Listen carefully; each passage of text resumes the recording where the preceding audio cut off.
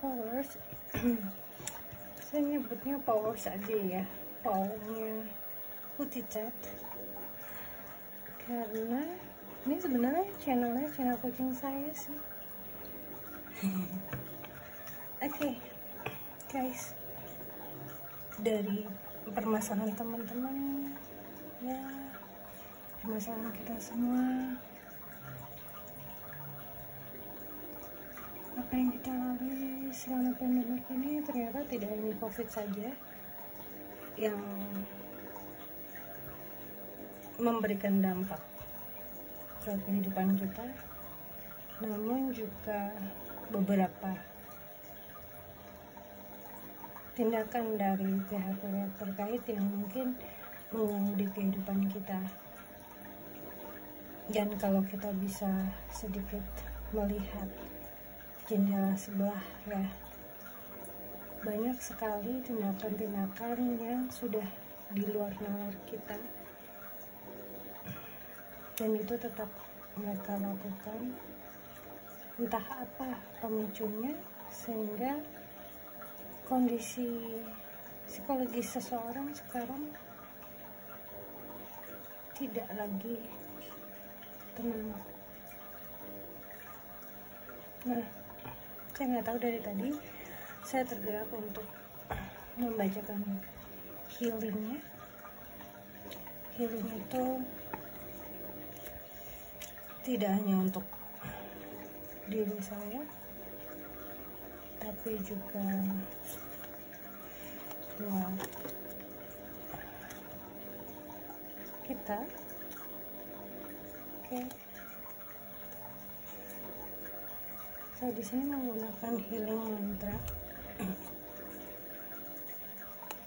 Entah apa yang akan diberikan oleh mereka pesan-pesan apa yang akan diberikan ke kita.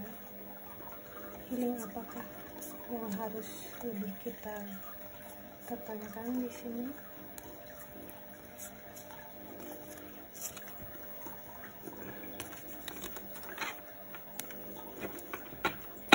akan juga cari tahu pesan apa yang akan mereka sampaikan kepada kita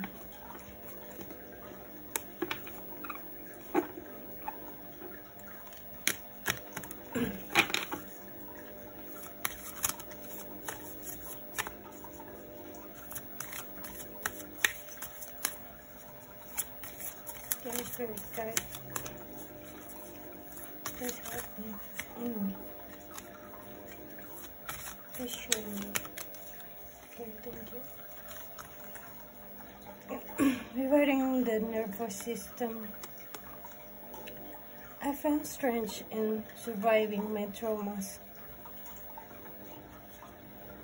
Ya, di sini kita diminta untuk kuat dan bertahan dalam menghadapi trauma kalau saya mungkin traumanya tentang asap kali ya. Karena nggak di lingkungan kantor maupun rumah saya harus menjumpai bahkan merasakan kedatangan asap. Atau untuk suatu hubungan beberapa dari kalian mungkin akan disakiti bukan akan tapi pernah disakiti. Pernah dikecewakan namun diharapkan di sini kita mempunyai kekuatan untuk memaafkan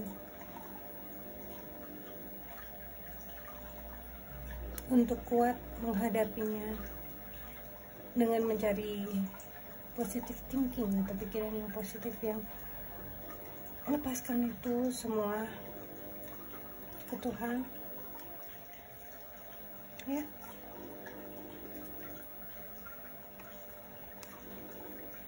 dan maafkan semua tindakan walaupun itu sulit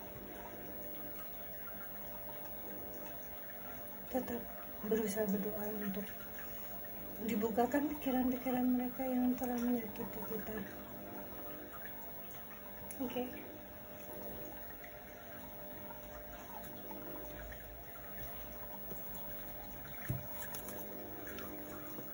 Sebenarnya saya cuma ingin memberikan healing saja. Karena memang dari segala permasalahan ini kita harus menghadapinya dari diri kita. Apa yang membuat kita kecewa? Apa yang kita rasa menyakitkan? Itu bisa kita ubah menjadi energi yang positif saat kita sudah melakukan hal untuk diri kita sendiri yaitu menambah kekuatan kita untuk bertahan dalam menghadapi trauma yang kita hadapi. Dan yakinkan pada diri kita bahwa kita bisa melalui semua itu. Kita bisa menghadapi rasa trauma itu